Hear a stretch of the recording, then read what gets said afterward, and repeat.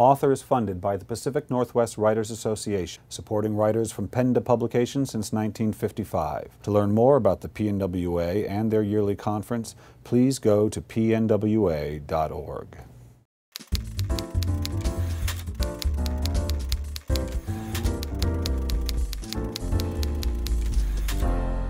Hi, this is Bill Kenower of Author Magazine, and today I'm in the Bellevue, Washington home of Gerri Russell, author of This Laird of Mine. Gerri, welcome to Author. Thanks, Bill. It's really great to be here with you today. You've just turned in book number 11. 10. You've turned in book number 10. Yes. Okay. So that's great. And so the, and the, and you published your first in 2006. Yes. But you did a lot of writing before that novel got published. Uh, you did, I mean, everything from, was it journalism you did and marketing and what all did you, technical writing? So I started out actually um, with broadcast journalism and print journalism, but when I um, was starting a family, I decided I wanted more of a nine to five type thing. So I went into more of the technical writing training type work. And then when I was pregnant with my um, third child, I uh, was on bed rest for a while and I started reading romances. I'd never read one before then. And so I just started reading them voraciously, one after the other, and I loved them. I didn't really know what I liked about them, but I, I loved them. And then I started analyzing them, and I loved the story, and I loved the happy endings. And then they stopped ending the way that I wanted them to. The characters weren't acting the way that I wanted them to, so I decided I needed to change that. And once I started kind of rewriting the book for the author that I just read, I decided maybe I should try this myself. So I started writing my first book when my daughter was three years old. Oh, that's so interesting. So, yeah. You know, that's the way, that's like one of two ways that a lot of novelists begin is either, ooh, I, well, you did both of them, which is I love that, but they did it wrong. Mm-hmm.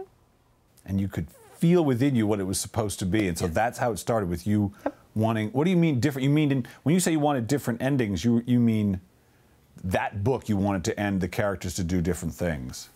I really liked strong heroines. And when the heroine started acting out of character or um, doing things that I didn't think would be appropriate given the context of the book, it made me upset.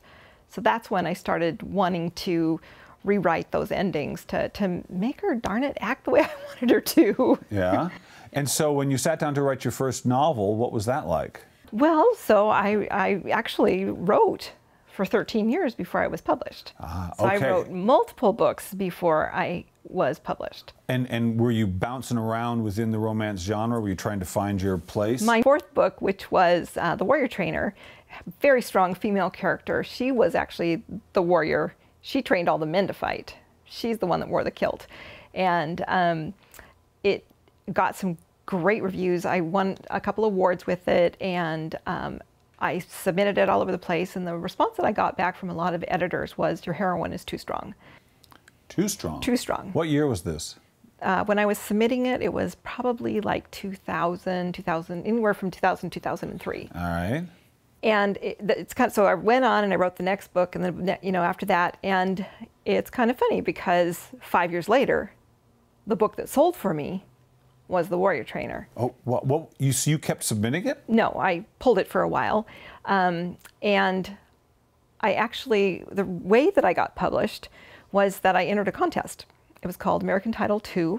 Um, it was kind of like uh, American Idol and Survivor smashed together, and it was run through um, Dorchester Publishing and Romantic Times Magazine. And there were 10 or 11 finalists in, in my year, and we uh, went through five elimination rounds. And, you know, every time Yeah. it was all voting, and people got knocked off, knocked off until there was two of us left. And uh, the final two, um, my book won, and with that, I was I got a one book contract with Dorchester. Wow. And then after that one was published, then we went back to contract many times.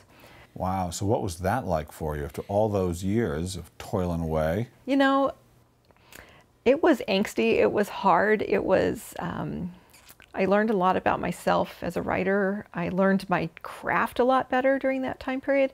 I don't think it was because I was a terrible writer.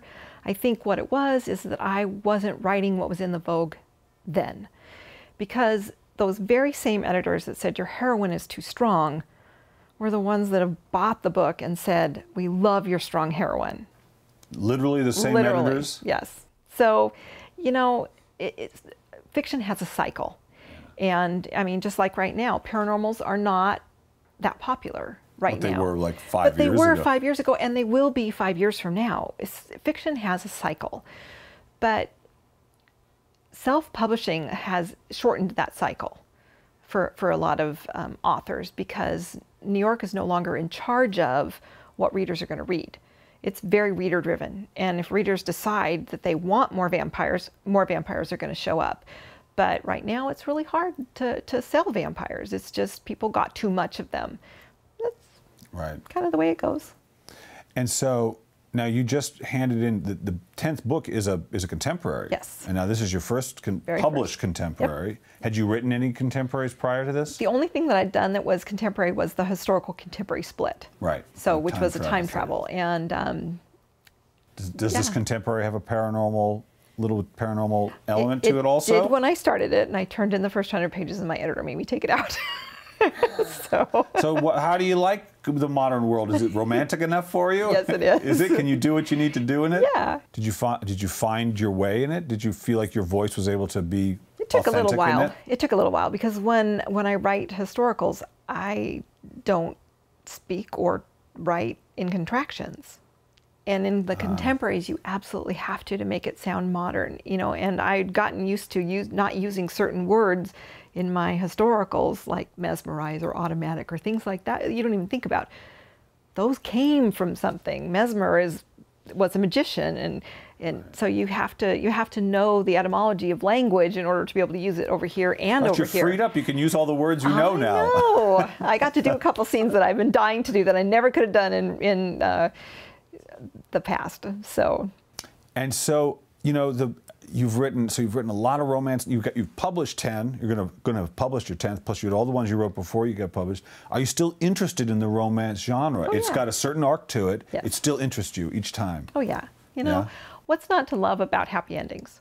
What's not to love about helping two people that when you start the book they are in chaos? I mean that that that's the way books are. Right. There's two characters that are in chaos and you help bring order to their life and you give them a happy ever after. What's not to like about that? It still interests you. for sure. Absolutely. Yeah. So, you and I are going to be attending uh, the Pacific Northwest Writers Association's Yes. summer conference. Yes. What for you is the value of a writers' conference like the PNWA's, both as an, as an attendee and as a Sure. participant? Well, number one, there is no other group of people in the world that think like writers except writers. So true.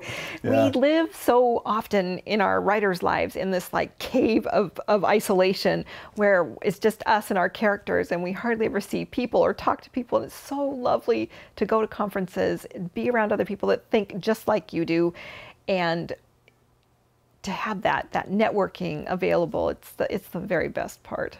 Yeah. Yeah. All right, now I've got one more question for you. And what I'd like you to do is finish this sentence for me. Okay. If writing has taught me anything, it's taught me what? discipline um, that I can do anything if I just set my mind to it. Um, that sometimes when people say no uh, about uh, whether it's an editor or an agent, um, sometimes that's just a call for for me to to push harder or do to dig be more diligent to do um, more things to learn my craft better to just really get in there and understand why it was a no and turn it into a yes. And that it only takes one yes to get a book published